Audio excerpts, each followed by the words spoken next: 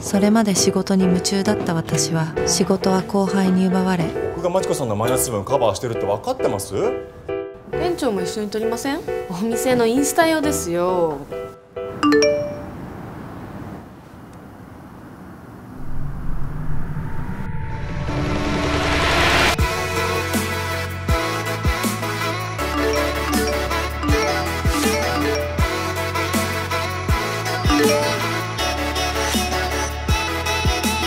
マーチさんですよね。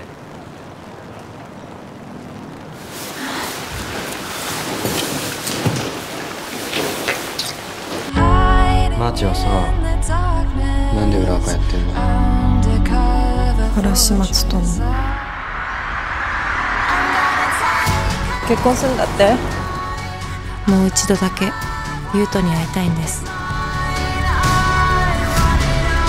マーチはっち側だろ